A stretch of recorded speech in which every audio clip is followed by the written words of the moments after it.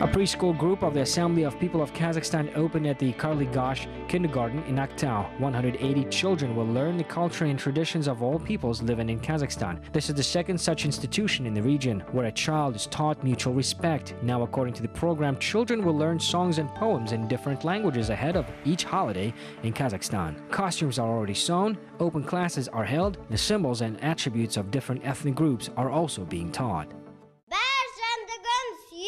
бәрі жәндігін сүйемін қыбырлаған бәрі маға отан деп сыбырлаған жаным мен жүрегімді жарып шыққан бозторғай болуын шыраудаған отан отан бәрінен биік екен мен оны мәңгілікке сүйіп өтем Also, there is a children's museum of the assembly. There are not so many exhibits, but they are made with love and care. Now, children from an early age know that Kazakhstan is a friendly country where about 140 ethnic groups live in the common hospitable home.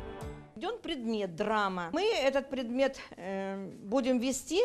The drama classes were introduced. We will organize folk tales, folk games, everything will be related to the assembly. Children will learn facial expressions, gestures, will study Akuns, the Kazakh heroes of fairy tales, and not only Kazakh tales, but also the others from the people living in our Kazakhstan. The management of the kindergarten plans to expand preschool institutions' cooperation with the House of Friendship. Children will have tours and participate with a creative program in the holidays of the regional ethno-cultural associations.